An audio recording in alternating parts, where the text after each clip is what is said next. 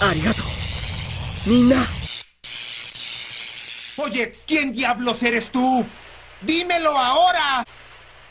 Está bien, te haré recordar. Soy nada menos que tu hermano mayor.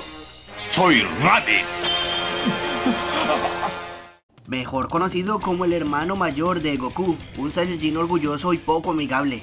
Su participación en esta historia fue muy corta, pero fue con él que esta historia comenzó a llevarnos a horizontes más allá de lo anteriormente conocido.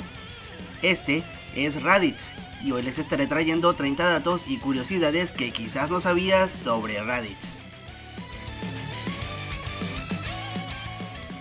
Raditz es uno de los pocos Saiyajin sobrevivientes del planeta Bellita, y gracias al manga de Dragon Ball Super vemos la razón de esto.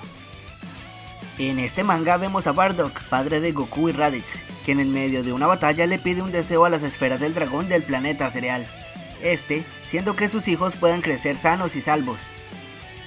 Bueno, principalmente fue porque Raditz se encontraba en una misión fuera del planeta Bellita, escapando así la destrucción del planeta, pero es muy probable que el deseo de Bardock haya influido en que Raditz recibiera dicha misión.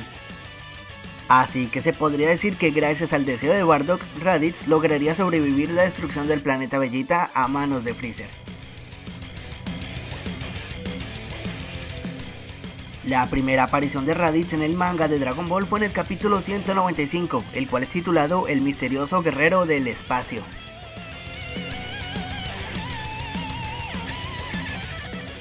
Mientras tanto, su primera aparición en el anime fue obviamente en el capítulo 1 de Dragon Ball Z, el cual es titulado La nueva amenaza, mientras que en Latinoamérica este fue llamado Aparece un mini Goku, su nombre es Gohan. Raditz es el único Saiyajin hasta ahora el cual le ha crecido el cabello, aunque de acuerdo con Akira Toriyama a los Saiyajins les crece el cabello mucho más lento que a los terrícolas. De acuerdo con Nappa, el nivel de poder de Raditz es igual al de un Saibaman, el cual llega a los 1200, aunque de acuerdo con Toriyama, el poder de un Saibaman es un poco menor que el de Raditz. También, gracias al panfleto guía de la película de Dragon Ball Z El Árbol Sagrado, o mejor conocido en Latinoamérica como Dragon Ball Z La Super Batalla, esta guía muestra que Raditz tiene un nivel de poder de 1500.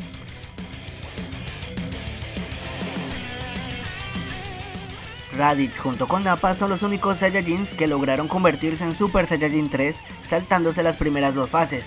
Esto sucede en los juegos de Dragon Ball Xenoverse 2 y Super Dragon Ball Heroes.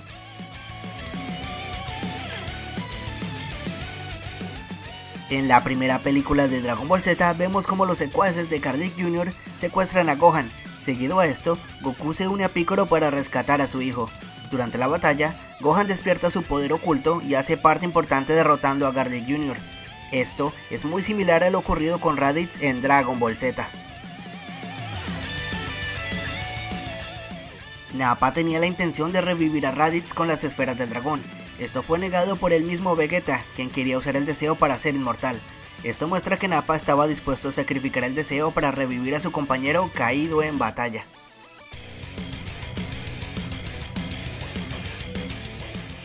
En el juego de Dragon Ball Z Budokai Tenkaichi 2 existe una opción de ¿qué hubiera pasado?, la cual es titulada Hermanos Fieles. En esta vemos a un Raditz el cual al llegar a la Tierra se enfrenta a Piccolo, en esta ocasión, Raditz utiliza unos Saibamans, los cuales se autodestruyen en frente suyo, causando que éste pierda la memoria. Después de esto, Raditz vaga por la Tierra hasta que se encuentra con Goku en Kame. Raditz pasa meses viviendo con Goku, hasta que Gohan nota la cola del Saiyajin, esto causando que Raditz recupere la memoria, así que decide nuevamente destruir la Tierra. Pero al recordar sus momentos junto a Goku y el resto, le hacen cambiar de opinión, Gracias a esto, Raditz se sacrifica estrellando su nave junto a la de Nappa y Vegeta, y así evitando que estos lleguen a la Tierra.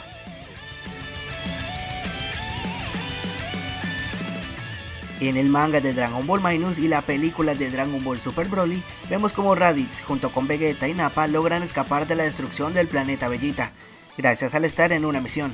Como mencioné anteriormente, esto pudo ser gracias al deseo de Bardock. Lo curioso es que si este fuera el caso, gracias a que Raditz hacía parte del equipo de Vegeta, esto terminaría salvando las vidas de Vegeta y de Nappa.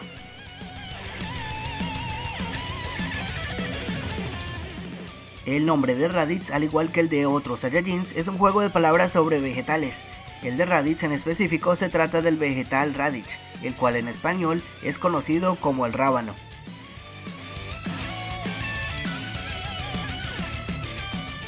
En el juego de Dragon Ball Fusions vemos a un Raditz, el cual decide fusionarse con Nappa y así creando al guerrero Nats.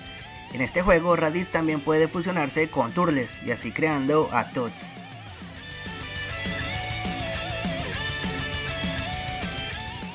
Raditz tiene su propia historia de origen. Esta viene de un manga llamado Dragon Ball Zero, el cual fue escrito por Toyotaro, actual mangaka de Dragon Ball Super. En este manga, Raditz junto a Turles ganan un torneo haciendo trampa. Como premio, ambos son enviados a misiones de conquista, las cuales no están preparados. Como hicieron trampa para ser encomendados a esta misión, ambos fallan y todo su escuadrón es asesinado, incluyendo Turles, Raditz logra escapar y es salvado por un joven Nappa y Vegeta, los cuales desde entonces lo hacen parte de su equipo. Obviamente este manga no es oficial, fue creado por Toyotaro cuando era tan solo un fan. Raditz aparece tan solo en 4 capítulos en Dragon Ball Z, pero tiene más de 40 apariciones en diferentes juegos de la franquicia. En el manga de Dragon Ball SD, un pequeño Raditz junto al pequeño Vegeta viajan a la Tierra para entrenar la cola de Raditz. Aquí, estos se encuentran con un pequeño Goku, el cual se une a ellos en su entrenamiento para superar su debilidad. Después de su entrenamiento, Vegeta y Raditz se marchan, pero durante su viaje de regreso, la cola de Raditz por error oprime un botón, el cual causa que la nave se estrelle, causando que ambos tengan amnesia y así olvidando que conocieron a Goku. Este manga es un remake del manga original creado para niños menores, con algunas historias spin-off como esta.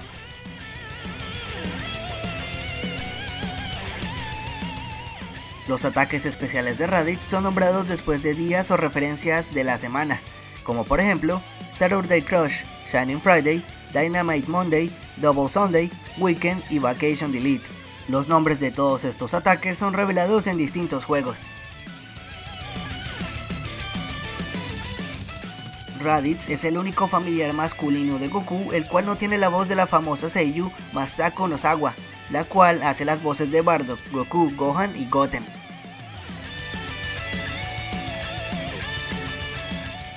La voz de Raditz en la versión japonesa del anime es prestada por el Seiyu Shigeru Shiba, el cual también presta su voz para personajes como Kazuma Kogawara en Yu Yu Hakusho, Boggy el payaso en One Piece, Yoshihiro Kira en JoJo's Bizarre Adventure, Jigoro Kuwamiya en Kimetsu no Yaiba, entre muchos más.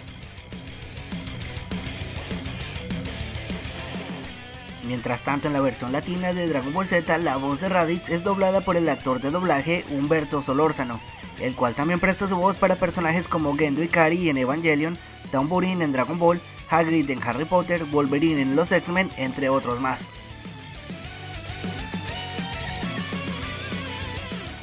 Al llegar al otro mundo después de morir a manos de Piccolo, Raditz, molesto por su muerte, trató de enfrentarse a Enmadayo-sama, el cual pudo derrotar a Raditz y enviarlo directamente al infierno.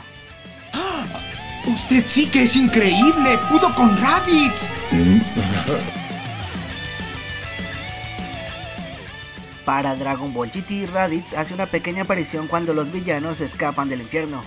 Y aquí, aunque este no se ve siendo derrotado después, se puede asumir que fue derrotado por alguno de los guerreros Z. En Dragon Ball Z, durante la batalla en contra de Freezer, este, al ver a Gohan, asume que es hijo de Raditz por su parecido, confirmando que al menos así sea un poco, Gohan tiene rasgos de su tío.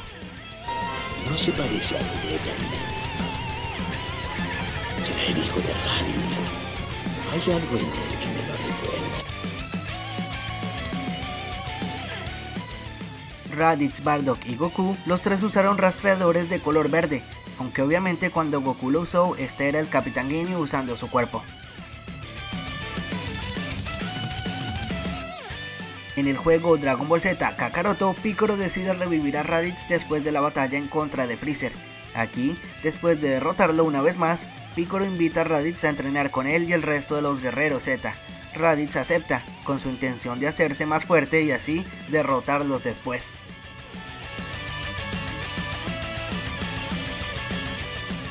Mientras que para el juego de Dragon Ball Z Harukanaru Densetsu, Raditz es revivido por un Baba por 24 horas.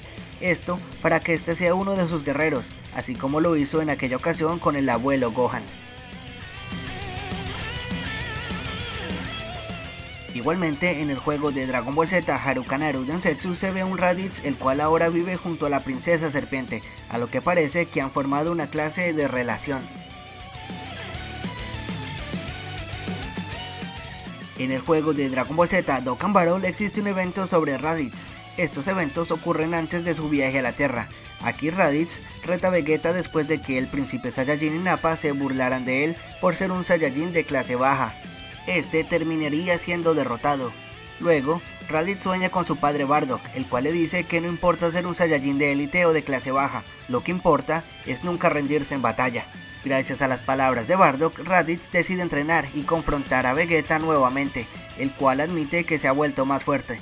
Luego de esto, Raditz decide ir a la Tierra para reclutar a su hermano menor Kakaroto.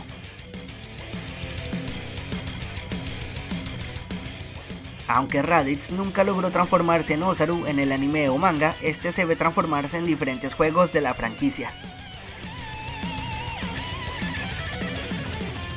Durante Dragon Ball Super, en la saga del Torneo de la Fuerza, vemos como Gohan y Freezer recrean la misma forma de como Goku y Piccolo derrotaron a Raditz en su momento, esta vez en contra de Dispo.